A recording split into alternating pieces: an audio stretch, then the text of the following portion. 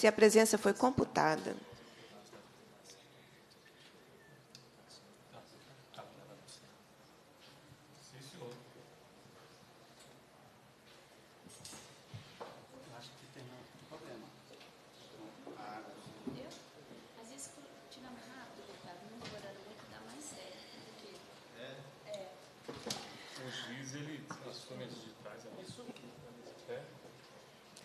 Nós registramos é, e agradecemos a presença do assessor de planejamento da Secretaria de Estado da Educação, Gabriel Mendes.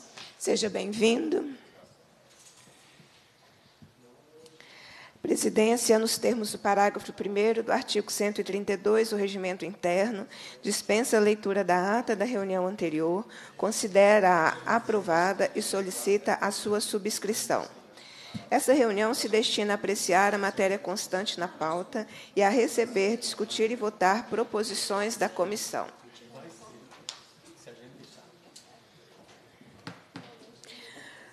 A presidência acusa o recebimento das seguintes proposições, das quais designou como relatores os deputados mencionados. Projeto de Lei número 2763 de 2015, no primeiro turno, deputado Bartô. Projeto de Lei 1934 de 2015, no segundo turno, deputado Betão. Projeto de Lei 575 de 2015, no primeiro turno, deputado Coronel Sandro. Projeto de Lei 1688 de 2015, em turno único, deputado Professor Cleiton. Nós passamos agora à segunda fase da ordem do dia, que compreende a discussão e a votação de proposições que dispensam a apreciação do plenário.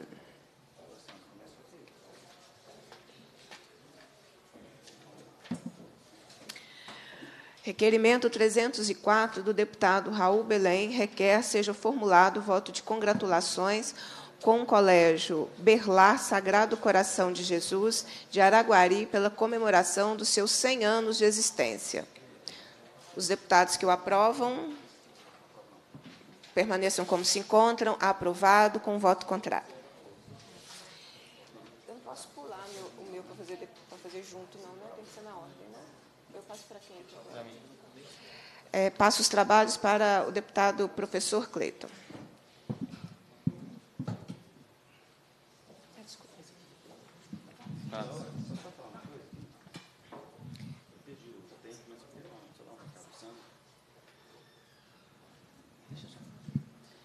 Deixa só, é, tá. Deixa eu só fazer a votação e volta para mim, eu passo para você. É,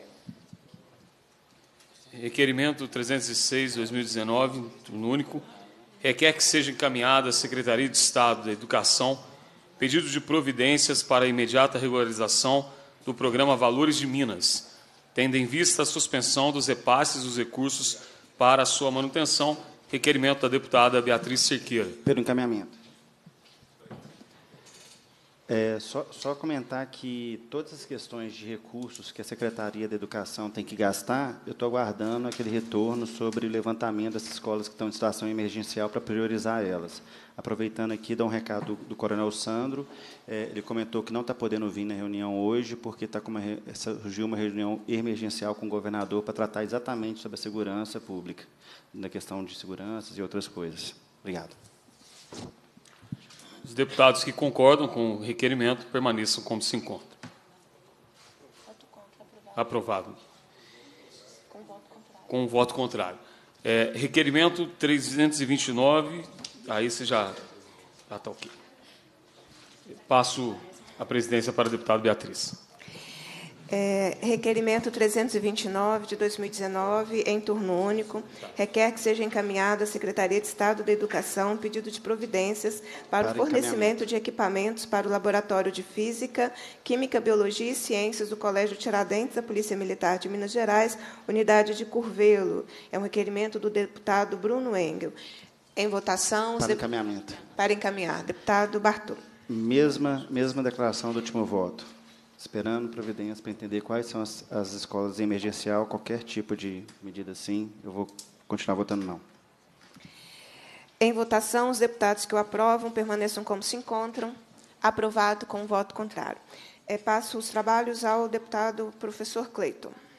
Requerimento 334 de 2019 requer que seja encaminhado ao governador do Estado pedido de providências para o cumprimento imediato da Resolução número 5, de 22 de junho de 2012, que define as diretrizes curriculares nacionais para a educação escolar indígena na educação básica, tendo em vista que as orientações da Secretaria de Estado de Educação estão em desacordo com a referida resolução.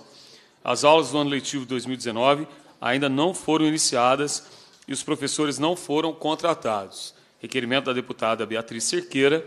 Os deputados que concordam permaneçam como se encontram. Pelo encaminhamento. Pelo encaminhamento.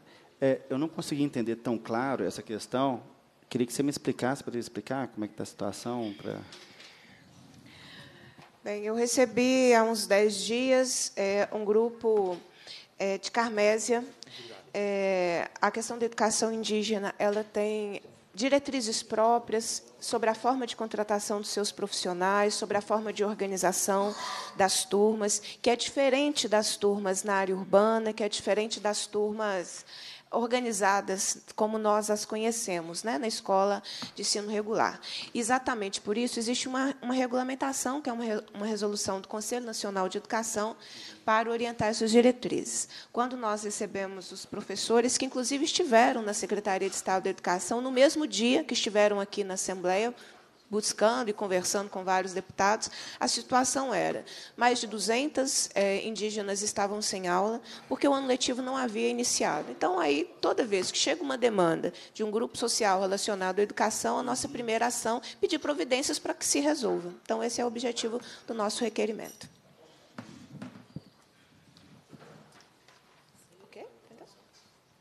Em votação, os deputados que concordam permaneçam como se encontram. Ai. Aprovado. Dois votos com um contra. Repasso os trabalhos para a deputada Beatriz Cerqueira. Requerimento 365 de 2019, em turno único, do deputado Bruno Engel. Requer seja encaminhado ao governador do Estado pedido de providências para que as 191 escolas públicas estaduais e as 10 superintendências regionais de ensino não sejam prejudicadas no que tange à segurança em razão do possível encerramento do contrato administrativo celebrado com a empresa TBI Segurança e que os vigilantes não sejam prejudicados com o encerramento definitivo do referido contrato. Para encaminhamento. Para encaminhamento, deputado Barton. É bem, a gente tinha uma, a gente estava marcado para ter uma audiência pública hoje aqui com a, com a secretária de Educação, que ela ia explicar exatamente essas questões para a gente entender um pouco mais, né? É, eu fiz realmente meu dever de casa, de entender um pouco, de ter algum acesso a alguns dados, né? E o que me chamou a atenção foi que é, são 3.600 escolas e apenas 191 tem, né? Então eu, eu não entendo ainda qual foi o que levou o governo a tomar essa decisão. Não está justificado ainda, é, ainda não, estou munido para tomar decisão a respeito disso, porém, ontem teve a reunião de a, a, Comissão de Segurança Pública, onde que o governo mandou o seu representante para poder esclarecer a respeito disso, e, infelizmente, o, o, o senhor que veio não muniu com nenhuma informação realmente relevante, só falou que estava com problema de finanças e, por isso, resolveu cortar. Então, não, não, entraram em detalhamento, não explicaram corretamente. Então, apenas a fim de retaliação a esse tipo de comportamento, porque realmente a gente precisa ser levado a sério, está tendo uma audiência pública, a gente precisa entender. Então, precisa vir uma pessoa munida de informação para dar mais transparência ao que está acontecendo. Eu vou votar a favor dessa vez, mas ainda estou sem posição com relação a, a essa questão. É, para o encaminhamento, deputado? Para encaminhamento, deputado professor Cleiton. É, o deputado Bartô levanta uma questão que é muito importante, porque, Bartô, essa dúvida ela foi gerada em vários lugares do Estado. É, por que 191 escolas? É, é, bom deixar claro que essas 191 escolas elas têm vigilantes armados, é, diferentemente de outras escolas onde isso não existe por uma questão de necessidade é, da questão estrutural, é, da questão é, onde essas escolas elas estão localizadas, que são áreas de intensa violência, áreas de risco, onde foi feito um estudo minucioso no passado para que a gente tivesse é, esse tipo de vigilância. É, a, além do, da questão patrimonial também. Então, para aqueles que estão nos assistindo, é, é, e muitos perguntaram, por que só 191 escolas? Porque essas escolas elas estão é, numa especificidade que demandava, então, a existência desses vigilantes armados. É, também com histórico de violência no passado. Todos esses motivos aí. E também, até agora, concordo plenamente com o senhor, é, que não foi esclarecido uh, os motivos reais desse corte, por isso a audiência para se discutir assunto de tamanha importância dentro do contexto que nós estamos vivendo, principalmente depois desses atentados em Suzano e de como que isso viralizou pelo Brasil com uma série de outras ameaças. Obrigado, deputado.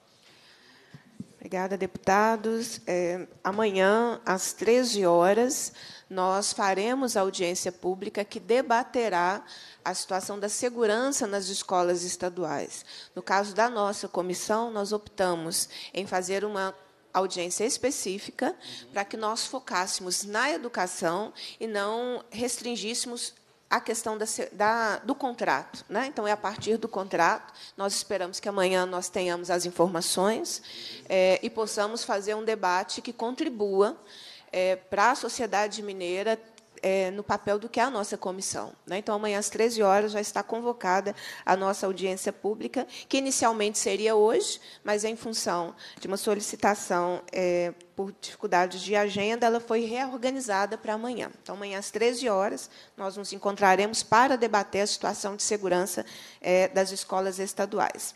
É, em votação, requerimento do deputado Bruno Engel, os deputados que concordam permaneçam como se encontram. Aprovado por unanimidade. Passo, as, a, passo a condição dos trabalhos ao deputado professor Cleiton. Aos que nos assiste, essa mudança permanente é porque o deputado não pode é, conduzir a votação do seu próprio requerimento. Então, toda vez que eu sou autora do requerimento, eu tenho que passar a condição dos trabalhos é, para um colega. Então, deputado. Tem aqui. É, requerimento 422-2019 da deputada Beatriz Cerqueira. Requer que seja encaminhado à Secretaria de Estado de Educação pedido de providências para o início imediato das aulas da escola de tempo integral. Alguém quer encaminhar? Tá bom, então. É, para os deputados que concordam, permaneçam como se encontram.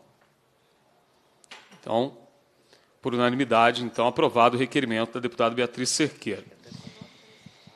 Requerimento 423-2019 da deputada Beatriz Cerqueira.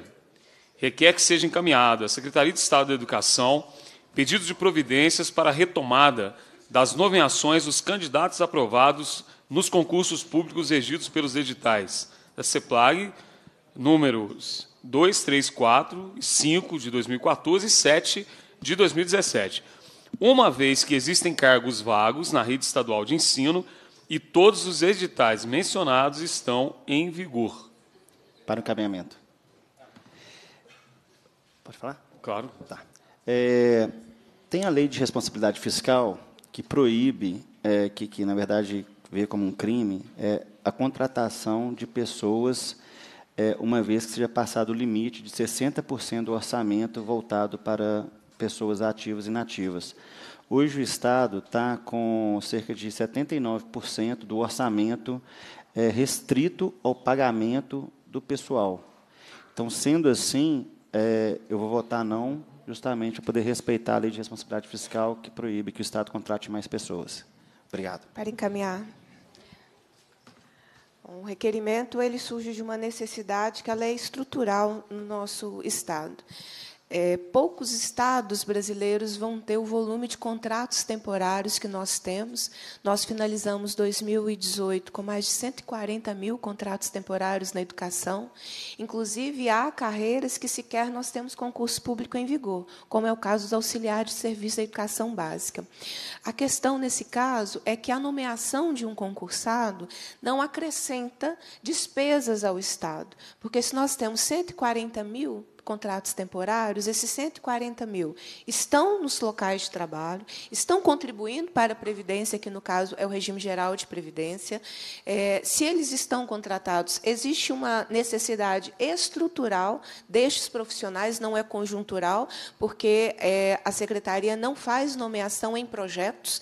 Então, os projetos que são temporários, duram um semestre ou menos do que isso, ou é um projeto anual. Não existe nomeação dessas pessoas nos cargos é, de projetos. Então, as, as nomeações elas acontecem em cargos que existem, que são demandas estruturais e permanentes. Então, quando o Estado nomeia um profissional, ele tira esse profissional da condição de precariedade, é, de instabilidade, possibilita que esse profissional, ao estar naquela comunidade escolar, possa contribuir para o projeto político-pedagógico daquela escola, possibilita que ele conheça aquela comunidade melhor para que ele vá trabalhar, porque o contrato precário, você está num local hoje, amanhã você pode não estar, né? você, tem essa, é, você não tem a garantia de vínculo é, com o local de trabalho, é, e na medida que o Estado nomeia um profissional, é menos um designado. Então, a conta não se altera, além do que, é, além da condição desse profissional e dos editais que estão em vigor, você fortalece a previdência própria, você porque a contribuição desse trabalhador passa a vir para a previdência própria, né? Isso para nós é muito importante e também o próprio fortalecimento do IPSENG, que são aí questões que nós estamos batalhando para para fortalecer. É, e esse requerimento vem de encontro às solicitações que têm chegado ao nosso mandato desde o dia 1 de fevereiro. Né? Nós temos uma prática já no Estado de alguns anos de periodicamente organizar a nomeação de profissionais para os cargos vagos que já existem. Então, por isso a importância desse requerimento para levar a secretaria à retomada dessas nomeações. Sim. É, é, também votarei favorável a esse requerimento. Ah, meu encaminhamento vai ah, justamente na linha do que disse a professora, deputada professora Beatriz, é, porque quem conhece é, esse, essa política de nomeação é, que nós temos no Estado de Minas Gerais, sabe que isso, de certa forma, ajuda a precarizar ainda mais o nível da nossa educação. Você tem professores ali que é, é são professores que eu vou chamar aqui de temporário, que estão em regime de contrato, onera a folha salarial do Estado, e, ao mesmo tempo, você não tem aquele vínculo que se deve ser criado uh, na educação, o vínculo com a escola, o vínculo afetivo com os alunos. Uh, porque o professor ele está em sala de aula hoje não sabe até quando ele vai permanecer, não sabe até quando ele vai ficar. Uh, o contrato vence, de repente você contrata outro professor ali que não tem. não é só o vínculo com a sala de aula, não é só o vínculo com a escola, mas o vínculo com a comunidade escolar. Ao mesmo tempo, nós precisamos até discutir nessa comissão os critérios de contratação, que há muito tempo no Estado de Minas Gerais são extremamente deficitários. Alguns critérios que a gente não consegue é, compreender, não consegue entender, até mesmo de profissionais que não são formados na área, mas por conta de tempo de contrato que tem com o Estado, acabam é, estando à frente de quem tem uma pós-graduação, de quem tem, tem, até mestrado na área. A gente poderia contar vários casos aqui. É, então, para a votação, os deputados que concordam com o requerimento permaneçam como se encontram. É, aprovado com o voto contrário. Repasso. É, para, para declaração de voto. Sim, senhor. É, infelizmente, a gente tem a, a, questão da lei, né, que, que, que, eu, que eu vou tentar me permanecer nela, por mais que eu entenda que não vai aumentar o, o, o ônus, porque já está assim, mas a lei é positiva, né? então é palavra por palavra. E também aproveito aqui para colocar minha posição liberal. Né? Acho que um dos grandes problemas do desemprego que a gente tem hoje em dia é justamente a dificuldade e os direitos adquiridos pelos empregados que oneram tanto o, o, o, empreendimento, seja ele na área educacional ou não, e fazendo com que se dificulte a entrada de novos, porque a grande assim, quanto mais fácil se puder demitir, mais fácil é para contratar. Então, a flexibilização, a gente sempre tende para essa flexibilização, porque é, é, tende a criar mais oportunidades, as pessoas tendem a, a, a ter mais competências à medida que aproveitam essas oportunidades, e no futuro, ela tendo mestrado, doutorado e a grande experiência, ela vai conseguir chegar a empregos melhores. Né? Então, é, como liberal também, eu tenho essa postura de sempre ser a favor de flexibilização na parte é, da relação do emprego entre o empreendedor e o empregado. até mesmo para dar mais oportunidades ao empregado, ele poder ter opção de escolher qual aquele empregador que o trata melhor e lhe confere condições melhores para o trabalho. Obrigado. Obrigada. Eu passo, então, a presidência para a deputada Beatriz. Obrigada. É, nós vamos passar agora a terceira fase do dia. Só, só um é, Não, nós vamos dar, vamos dar continuidade. Ah, é, é, nós vamos passar a terceira fase da ordem do dia, que compreende o recebimento, a discussão e a votação de proposições da comissão. Também não sei. Não sei. Vamos seguir. Pessoal, agora chega a nossa. É, a, pessoal, agora chega a nossa a mesa requerimentos que são de terceira fase, que são encaminhados diretamente é, à nossa comissão. Os da, primeira, os da outra fase são aqueles requerimentos que chegam lá na mesa da Assembleia e a mesa da Assembleia entende que o assunto é pertinente a cada comissão e encaminha a cada, é, a cada comissão. Agora, são os requerimentos que chegam diretamente à nossa comissão e nós faremos a leitura e o debate e votação de cada um deles. É, primeiro requerimento para debate e votação é da deputada delegada Sheila. A deputada que subscreve requer a Vossa Excelência, nos termos do artigo 103, inciso 3, é, a linha A do regimento interno seja encaminhado à Governadoria do Estado em Belo Horizonte pedido de providências para que seja cumprida a previsão do artigo 212 da Constituição do Estado de Minas Gerais e seja repassado no mínimo 1% da receita orçamentária corrente ordinária do Estado à entidade de amparo e fomento à pesquisa FAPEMIG. Ah, você quer que leia a justificativa ou quer que eu te explique? Posso explicar. É, a questão da FAPEMIG, inclusive, nós estamos com uma audiência pública marcada para o próximo dia 3. A Constituição do Estado ela determina que 1% da receita corrente deve ser encaminhado à FAPEMIG, que é a Fundação de Amparo à Pesquisa do nosso Estado. O governo não cumpre, não está cumprindo é, essa destinação de 1%, já informou a FAPEMIG, inclusive, qual será o recurso disponibilizado é, este ano. Então, é, se a FAPEMIG receberia em torno de 270, 280 milhões de reais, ela vai receber torno entre 70 e 80 milhões. Estou falando em torno de, porque eu não sei os números exatos, mas caminha em torno disso. É, e a demanda da FAPEMIG tem nos chegado por vários deputados. Nós já aprovamos outros requerimentos aqui de providências, de pedido de, de atualização é, dos repasses, de é, pedindo para que é, o governo do Estado possa colocar em dia aquilo que é previsto constitucionalmente. Nós já votamos outras matérias nesse sentido, e, para melhor debater o assunto, também tem uma audiência pública já previamente convocada para o próximo dia 3 de abril, às 16h30. É, em votação, requerimento da deputada é, delegada Sheila. Os deputados que concordam permaneçam como se encontram. Aprovado? Aprovado, por unanimidade. Também requerimento da deputada delegada Sheila, delegada que subscreve, que requer que seja encaminhado à Fundação de Amparo à Pesquisa é, do Estado de Minas Gerais, FAPEMIG, em Belo Horizonte, pedido de providências para realizar o pagamento do débito existente com a Universidade Federal de Juiz de Fora, no valor de R$ 23.681.650,93, relativos aos projetos aprovados e homologados. Para encaminhar, para encaminhar, deputado Bartô. É, eu sei que a necessidade das nossas escolas, necessidade financeira, continua muito alta e os recursos continuam muito baixos.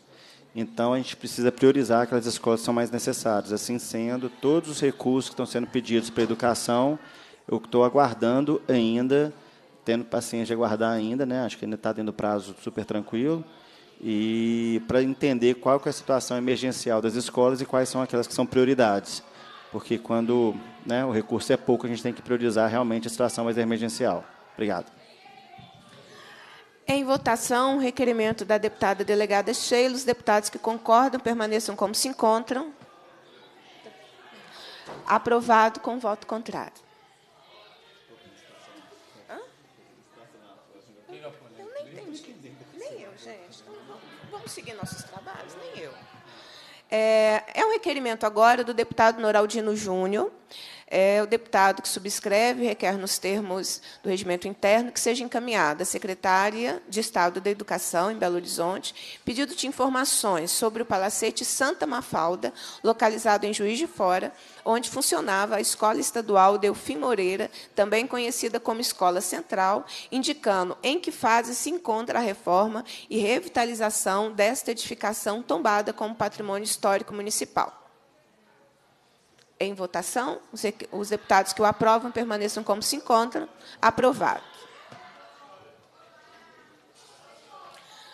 Outro requerimento do deputado Noraldino Júnior, deputado que subscreve requer, nos termos do artigo 103, que seja encaminhada à Secretaria de Estado da Educação, em Belo Horizonte, pedido de providências para a liberação de recursos financeiros com vistas à conclusão das obras da Escola Estadual Ana Salles, localizada em Juiz de Fora. Para encaminhar, deputado Bartô. Eu sempre faço questão de repetir, né, porque é ter o cuidado, o zelo com cada um que teve, né, que chegou, né, porque cada deputado nós aqui, a gente recebe realmente grandes demandas aí do interior e das nossas bases, então a gente sabe que o trabalho que eles estão sendo feito aqui é realmente um, um, uma satisfação às suas bases. Então, eu vou ter que fazer o esclarecimento toda vez que tiver um pedido nesse sentido, a fim de também né, se o deputado quiser entender o porquê do voto contrário, está aqui gravado. Então, a situação é a mesma, esperando o, o, o esclarecimento da Secretaria de Educação com relação a quais são as escolas em situação mais emergências para poder é, priorizar elas. Obrigado, presidente. Em votação, o requerimento do deputado Noraldino Júnior. Os deputados que concordam permaneçam como se encontram. Permaneçam como se encontram. Aprovado com voto contrário.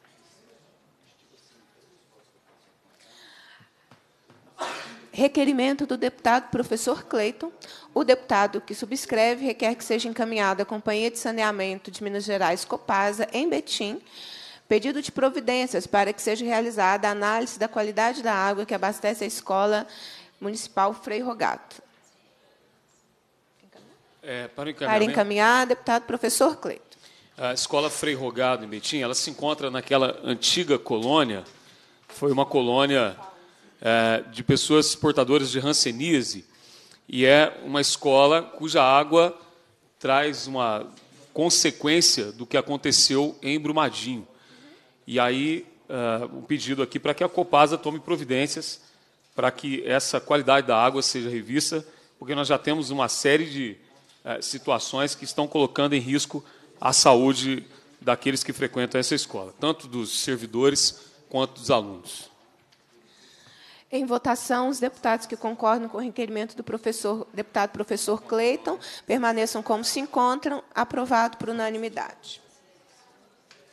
Pessoal, é, só fazendo uma justificativa, o professor é, Betão, que é o nosso vice-presidente, ele está também numa agenda externa, é, mas deve estar chegando para dar continuidade aqui com os nossos trabalhos, tá bem? Mas ele justificou, quando nós iniciamos, que ele estaria numa atividade externa é, de mandato, do mandato parlamentar dele. É, é um requerimento da deputada Marília Campos, a deputada que subscreve, nos termos do artigo 103, requer que seja encaminhada à Secretaria de Estado da Educação pedido de providências para que promova ações de caráter educativo, informativo e de orientação com vistas à prevenção da violência doméstica e do feminicídio. Para encaminhar, deputado Bartô. É, eu, como liberal, é, eu enxergo todos como indivíduo. Eu não vejo mulher, não vejo homem, não vejo idoso, não vejo criança, não vejo indígena, não vejo amarelo, não vejo italiano, eu vejo indivíduos. Então, toda vez que a gente faz uma ressalva para poder priorizar uma classe em específico, a gente cria é, vários procedimentos diferentes e acaba tornando-se como o combate ao todo mais ineficiente. Por isso que eu sempre priorizo que a gente tem que combater a violência, seja contra for, independente de quem que seja. Tá? Então, qualquer coisa no sentido que venha a segmentar e segregar, eu voto ao contrário. Obrigado.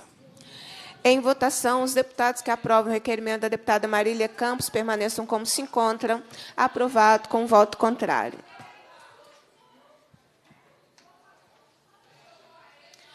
É um, é um requerimento agora do deputado Glaicon Franco. Deputado que subscreve requer nos termos. Ah, esse aqui nós vamos caminhar junto, porque já tem outro requerimento junto. É, esse nós vamos votar daqui a pouco, porque tem outros requerimentos tratando da mesma matéria. É, o deputado que subscreve é do deputado Raul Belém é, requer que seja encaminhada à Secretaria de Estado da Educação e à Secretaria de Estado da Saúde, em Belo Horizonte, pedido de providências para que seja disponibilizado na rede estadual de educação profissionais de psicologia para o acompanhamento de alunos e professores. Sim, para encaminhamento. É, Bem, eu acho que tudo que visa fortalecer a escola, né, dar mais amparo ao professor, dar mais amparo aos alunos, é tudo muito bem visto. Mas temos que entender que tudo que é feito nesse sentido tem um custo. E, e, e para todo custo tem que ter um recurso para poder pagar. Eu queria realmente que nossas escolas fossem providas de tudo que seria ideal para cuidar de um aluno, atender o aluno e todos os profissionais nessa escola, mas, infelizmente, nossos recursos são escassos, até mesmo por conta de, do, do, nosso Estado atual priorizar tanto, às vezes, políticas segregadas ou questão de fiscalização regulamentação, e não de focar exatamente onde que tem que vir o Estado, que seria, talvez, educação, saúde segurança. Sendo assim, é, é, eu votarei contrário a essa medida, justamente porque nós estamos no Estado quebrado, que não tem dinheiro para nada. Na educação, a gente vê que tantos e tantos casos, requerimentos de pedidos para poder é, é, cuidar de algum problema específico de alguma escola. Então, a priori, eu, eu prefiro que o dinheiro da educação vá para tampar buracos em, em, em telhados, que vá levar tampas para a caixa d'água, né, Cleito? E, e, e, entre vários outros aspectos nesse sentido, do que promover um, um trabalho tão necessário quanto esse, mas que não tenha tanta é, urgência quanto os demais, que estão na situação de emergência. Sim, meu voto será não. Obrigado, presidente. Obrigada, deputado Bartô. É, os deputados que concordam com o requerimento do deputado Raul Belém permaneçam como se encontram. Aprovado com voto contrário.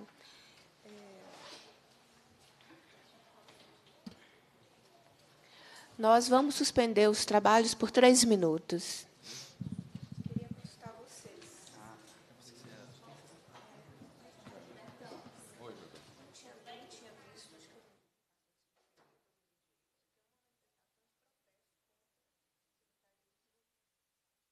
a Comissão de Educação, trazendo demandas que são pertinentes aos trabalhos da nossa comissão. É, o requerimento agora é do deputado Betão, deputado que subscreve, requer nos termos do artigo 103, inciso 3, alineado, do regimento interno, que seja formulado voto de congratulações com com o grupo de capoeira Meia Lua pelo seu 57º aniversário e pelos serviços prestados à cultura de Minas Gerais. Importante frisar que o grupo de capoeira Meia Lua é o primeiro grupo de capoeira do estado de Minas Gerais, o que contribuiu para a difusão da cultura e da história africana junto à sociedade. Requer ainda seja dada ciência dessa manifestação a Alexandre José Ribeiro de Amorim, e aí tem o um endereço aqui em Juiz de Fora, para encaminhar para encaminhamento, presidente. Para encaminhar, deputado Bartô. Aqui na casa, sabe, Betão, é, o pessoal está começando a acostumar um pouco mais com o pessoal do Novo, de não pedir mais nenhuma assinatura em questão de, de poder elencar gratulação, congratulações, de, condecorações e por aí vai. Então, é, isso a gente faz, a gente sabe que é muito comum, todos os deputados fazem isso bastante, né? a gente vê que é uma coisa, que é uma prática muito normal aqui, acho que até vocês mesmos devem receber, com certeza, né? diariamente, vários pedidos aí de congratulações, vários pedidos de homenagens e tal, acho que eu, mesmo a casa toda sabendo que a gente não assina isso, eu continuo recebendo uns dois por dia ainda, E o pessoal fala assim, ah, é mesmo, estou esquecido você, realmente, vocês não votam e tal, vocês não dão uma assinatura nisso. Então, só para deixar claro que essa postura nossa é uma postura de que a gente acha que aqui na casa a gente tem que focar mesmo em resolver os problemas de Minas Gerais e que não deva gastar dinheiro público, né, porque uma vez que a gente está parando para poder discutir, uma pessoa está vindo colher a assinatura da gente e tal, e a gente acha que isso, é, isso não seria o dever nosso como ente público. Né? Então, a gente sempre valoriza muito que essas, essas concretizações sejam feitas é, é, no, no, na questão individual do, do, próprio deputado, suas páginas, ou então até mesmo é, juntando pessoas, fazendo mobilizações. A gente caminha muito nesse sentido, assim, sabe? Então, por isso que eu voto contra, tá? Para encaminhar, deputado Betão. Não, só para. É, vou pedir o voto favorável, deputado Bartô, a todos os deputados e deputadas, mas é, é só para lembrar que é, esse, essa é, congratulação é uma folha de papel que a gente envia. Né? Eu posso, para agradar o senhor, levar em mãos, para a gente não gastar o selinho. Se for possível, aí o senhor pode votar favorável. Pode.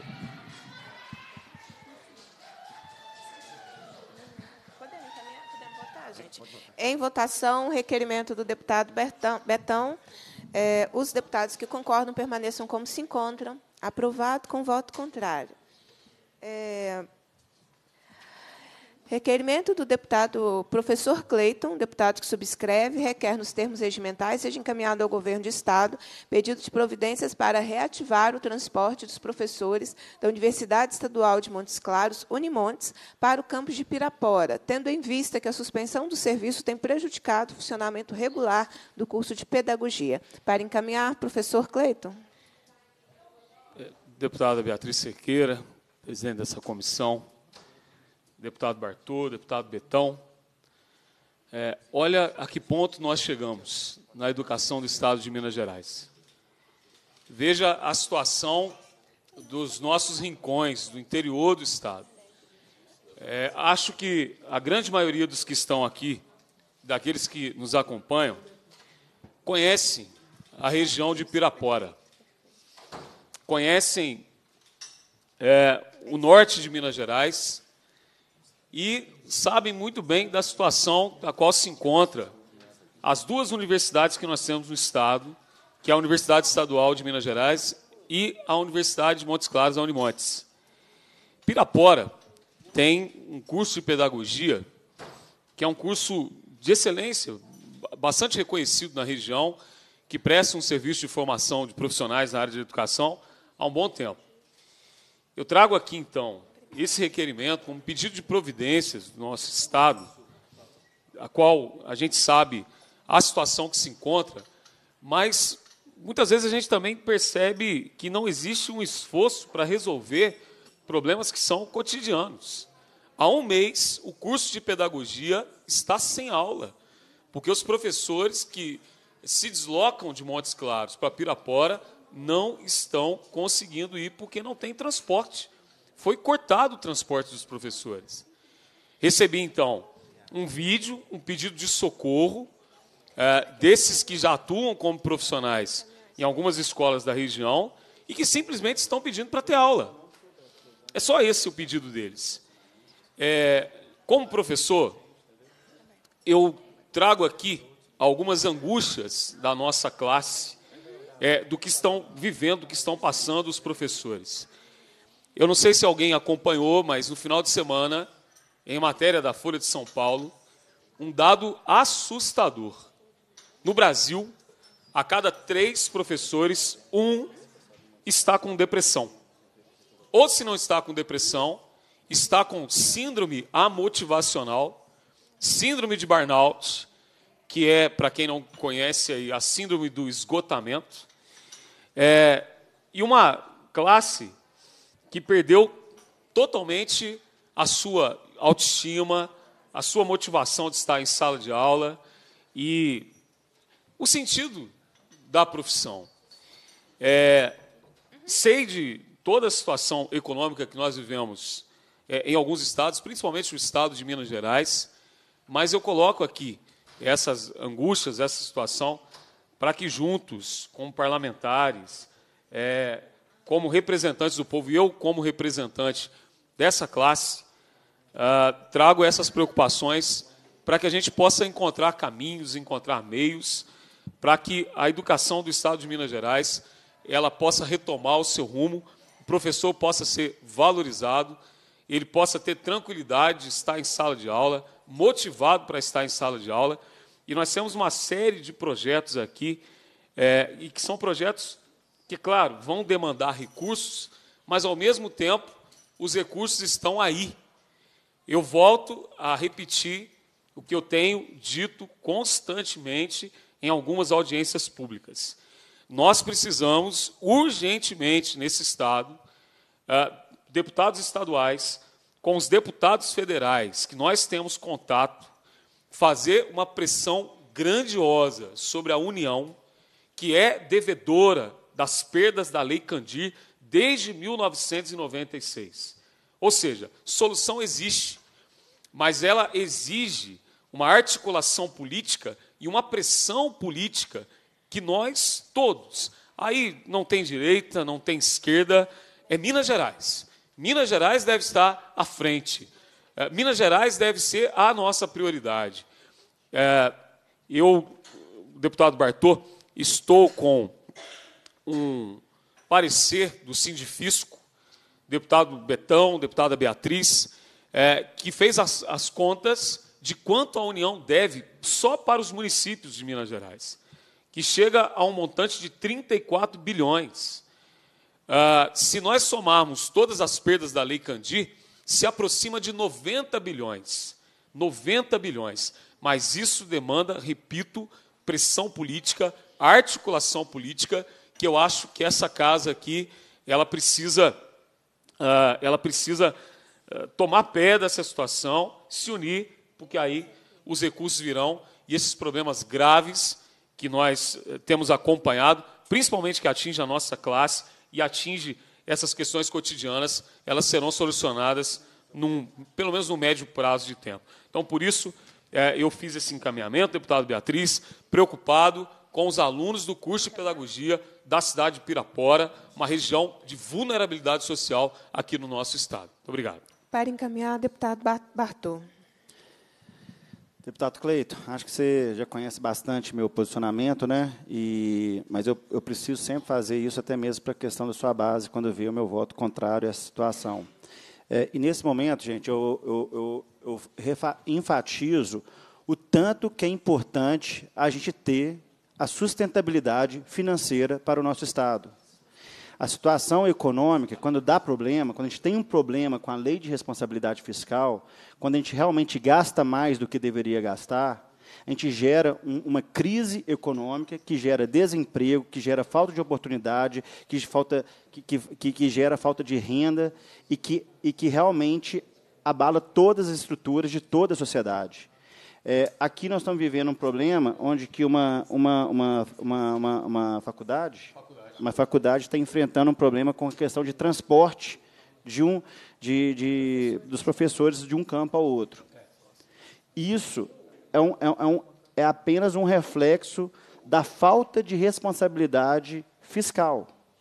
Quando você tem a falta de responsabilidade fiscal, e você não sabe fazer a utilização direito dos seus gastos, como que você aumenta os seus gastos, quem você contrata, qual estrutura você cria mais para o, para o Estado, é, focando na eficiência daqueles recursos que foram utilizados, você gera realmente problemas que lá na frente vai faltar recurso, pra, pra, pra, no caso aqui, no transporte. Num caso, outro ali, do, do telhado. No outro caso aqui, tantos outros casos que vêm rotineiramente na nossa mesa.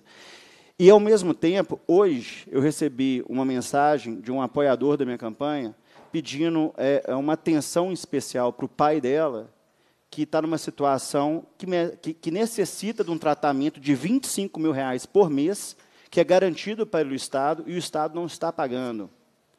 E eu, com aperto no coração, tenho que falar para ela que eu não posso ajudar ela, porque eu não posso entrar em casos específicos, justamente porque nós, deputados, temos o dever de estar controlando realmente o Estado e toda essa responsabilidade dos gastos do Estado.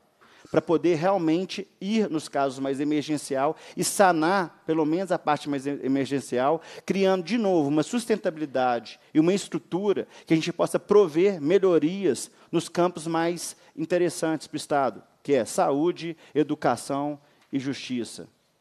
Então, é, a gente tem que entender exatamente essa questão de qual é a responsabilidade nossa em fazer os gastos.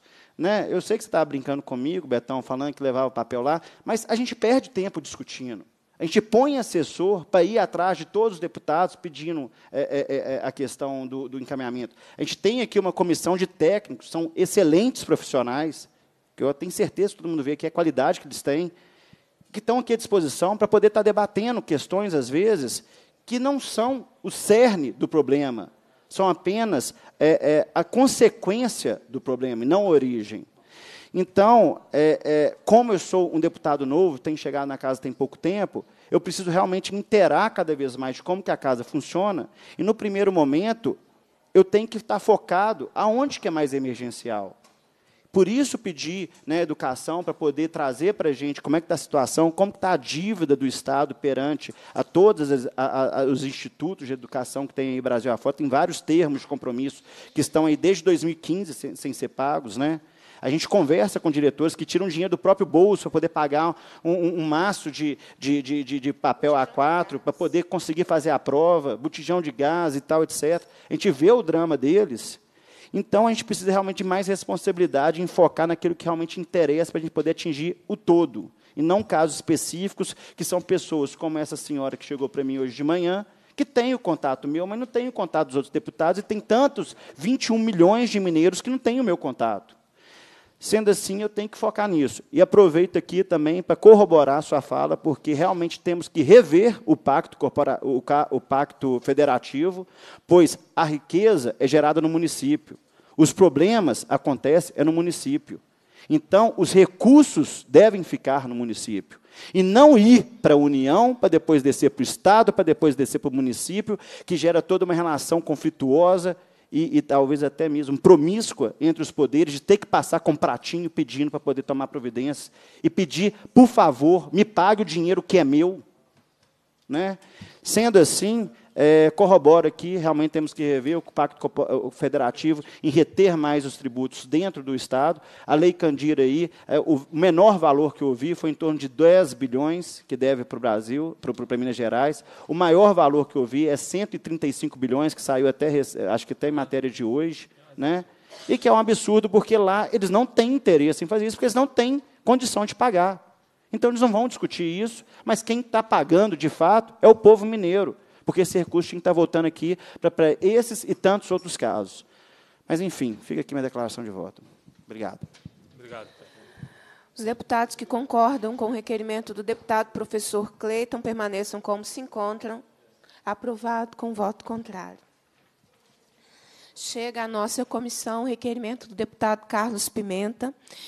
Uh, requer que seja realizada audiência pública para debater o projeto de lei 1476 de 2015, que institui o programa Paz na Escola. É, o projeto ele não vem, não vem à nossa comissão, mas né, ele é da legislatura passada, acho que ele está pronto para votação em plenário, mas não nos impede de fazer o debate, se assim nós entendermos, está bem? É, os, de, os, deputados que concordam permaneçam como se encontram. Ah, para encaminhamento. Ah, para encaminhar, desculpa. Tá. Deputado Bartol, para encaminhar. Lembrando aqui tá, que todos esses pedidos de, de audiência, debate, prestação de informação, eu sou favorável a todos. Até mesmo porque uma audiência pública só faz com que aumente a, a, participação da população na nossa casa e entenda cada vez mais o que, que no, no nosso trabalho aqui, o que, que a gente quer fazer. Então, sempre vou votar favorável a isso. Obrigado, presidente. Em votação, requerimento do deputado Carlos Pimenta. Os deputados que concordam permaneçam como se encontra. Aprovado por unanimidade. Ah, nosso último requerimento ele foi feito coletivamente Acho que respondendo a, aos questionamentos e às solicitações de centenas de profissionais e de, da comunidade, das comunidades escolares em relação à escola de tempo integral. Nossa comissão aprovou um requerimento aqui solicitando providências para o início da escola de tempo integral, mas nós avaliamos que isso pode não ser suficiente.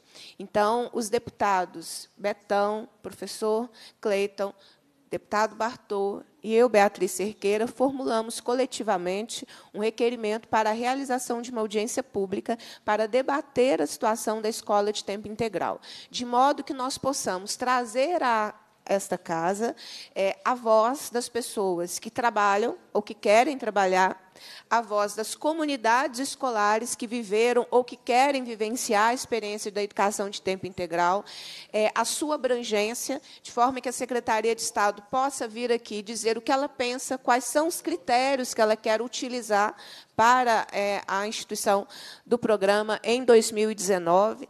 Enfim, é a gente, num esforço coletivo, é, de fazer da comissão o trabalho dela. Né? A, a política pública não é feita só no Poder Executivo. A gente tem uma tarefa fundamental ao fazer esse processo. Então, assim, eu presto contas, inclusive, a centenas foram muitas mesmo, mensagens que eu recebi nos últimos dois dias, nos questionando sobre a escola de tempo integral. Né? E é isso mesmo, tem que procurar todos os deputados, tem que pedir, tem que dialogar, né, no sentido dos problemas que acontecem. E também agradeço, existem algumas professoras aqui acompanham né, os trabalhos da comissão é, aqui da galeria e trazem seus próprios cartazes questionando sobre a escola de tempo integral, solicitando a escola de tempo integral, a educação integrada, é, sobre a comunidade Cabana do Pai Tomás, que quer saber quando iniciarão as aulas de educação integrada. A melhor forma de fazer isso é através do debate. Aqui a gente já construiu um consenso que aqui essa comissão é a comissão do debate. Né? Nós temos audiências públicas aprovadas para debater tudo pertinente à educação. Então, nós fizemos esse requerimento coletivamente, nesse compromisso de debater o que interessa, né, que é a vida concreta das pessoas, e, nesse caso, a educação de tempo integral. É, então, esse é o nosso último requerimento, é a realização da audiência pública para debater a escola de tempo integral no Estado, assinado por todos os deputados presentes aqui nessa reunião ordinária da Comissão de Educação. Indago se mais algum deputado quer fazer encaminhamento ou podemos votar. Podemos votar. Os deputados que concordam com este requerimento permaneçam como se encontram. Aprovado por unanimidade. Nós pactuaremos a melhor data, de modo que a secretaria possa estar conosco. Né? Faz pouco sentido debater um programa que é da secretaria na sua ausência. É, e divulgaremos, né? a Assembleia Legislativa tem os canais de divulgação, que, inclusive, eu quero incentivar né, a acompanhar a pauta, né, todo dia fica lá disponível que, que vai acontecer durante a semana. Né? Eu adquiri o hábito de toda noite abrir o site lá da Assembleia e verificar, porque tem muita coisa sendo discutida, muitas audiências, muito debate. Inclusive, as audiências, várias delas acontecem como reunião interativa. Quer dizer que, de onde você estiver, durante a realização daquele debate que acontece fisicamente aqui na Assembleia, você pode participar. Ontem, deputado Bartô, eu estava na Comissão de Administração Pública Pública, nós estávamos debatendo né, a situação do IPSENG, e, é, e aí as pessoas começaram, de fato, a interagir. Então, teve gente do Vale de Equitinhonha, do Noroeste de Minas, aqui de Belo Horizonte, que, por uma situação ou outra, não pode vir à Assembleia, né, a vida concreta das pessoas, elas trabalham, né, e as nossas atividades também é no horário de trabalho das pessoas, mas elas puderam contribuir. E todos os questionamentos trazidos ontem, durante a nossa audiência pública, imediatamente foram encaminhados ao presidente do IPSENG, que participava da audiência conosco. Acho que isso é um instrumento importante para a gente que está aí é, que, fortalecendo né, e fomentando que as pessoas participem, cobrem, atuem é, em relação às pautas é, aqui da Assembleia Legislativa. Né? Então, queria fazer essa propaganda do site da, da Assembleia, porque vale muito a pena acompanhar né, é, as nossas pautas, agendas estão sempre lá de todas as comissões. Então, cumprindo aí essa tarefa coletiva, né, da nossa comissão, nós vamos nos organizar e marcar para o mais breve possível a realização da audiência pública. Pela ordem? Pela ordem. Só corroborando as palavras da Beatriz, que realmente essa interação do povo é muito necessária. Aqui é uma casa composta com 77 deputados, o que eu gosto de falar muito, que eu sou apenas um burocrata sentado numa cadeira para ouvir a demanda da população e, e, e fazer com que a população se movimente em, em prol de organização do Estado, melhorar todas as questões do Estado, e para isso é necessário envolvimento. Quanto mais as pessoas estão aqui na casa, estão mais acompanhando via internet, televisão, né? tem o canal 11 né, da TV Assembleia também, que é muito bom, o pessoal está tá atento. Inclusive, eu estava acompanhando vocês ontem pela TV Assembleia. Parabéns até pelos trabalhos, tá, Bia? Estou vendo que você está sendo assim, trabalhando muito Estava até muito cansada ontem, eu vi que pela, pela, pelo seu semblante estava bem cansado, tinha até uma hora que estava rateando lá. Então, voz, né? é, mas isso é... então, parabéns aí pelos trabalhos. E, e, e, é isso, nós aqui, deputados, somos apenas um reflexo da população. Se a população não se mostra interessada, se a população não procura a gente para poder resolver as, as questões, e lembrando que para resolver as questões a gente precisa do envolvimento da população, né? eu, eu pessoalmente faço com que, é, é, apenas, que nem eu falo, estou aqui só para poder articular o que a população traz. Então, eu filtro o que a população traz, entendo quais são melhores, é, é, as melhores propostas para poder é, impactar o coletivo e dou andamento para os trabalhos deles. O que eu trago aqui, eu não produzo, eu apenas trago o que foi produzido pela população e assim eu consigo ter acesso a muita gente, em vez de ficar preso produzindo, eu estou apenas preso filtrando o que a população produz de melhor para poder atender o coletivo. E assim, a gente sempre gosta de bater. A, a interação da população é sempre importante, é sempre louvável. E o povo que vai mudar a situação do país, e não os políticos. Então, assim, eu trago aí sempre corroborando a, o movimento deles. Obrigado, presidente.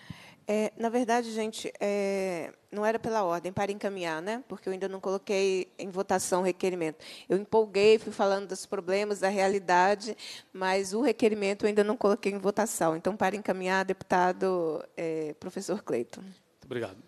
É, fui um dos entusiastas a pedir essa audiência pública, porque eu sou um ardoroso defensor da escola de tempo integral principalmente que ela exista nas áreas de maior vulnerabilidade social. É, e a gente tem recebido do interior, sou um deputado do interior, uma série de reclamações em relação à precarização dessa escola, desse, desse tipo de educação, ao mesmo tempo que é, onde existe é precisa ser revista uma série de políticas aí. Mas eu queria até reforçando o que disse a Beatriz Bartô, fazer um convite para quem está aqui. Amanhã, 9 horas, nós temos uma audiência pública é, convocada pela deputada Leninha. É, eu, como católico, queria fazer propaganda, né? É, uma audiência pública sobre a campanha da fraternidade, para se discutir a questão das políticas públicas.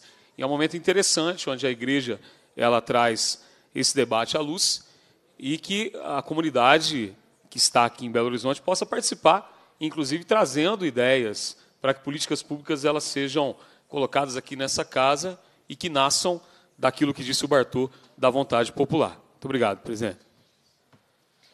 Em votação, requerimento. Os deputados que concordam permaneçam como se encontram. Aprovado por unanimidade. Cumprida a finalidade da reunião, a presidência agradece a presença dos parlamentares, agradece a presença do Gabriel Mendes.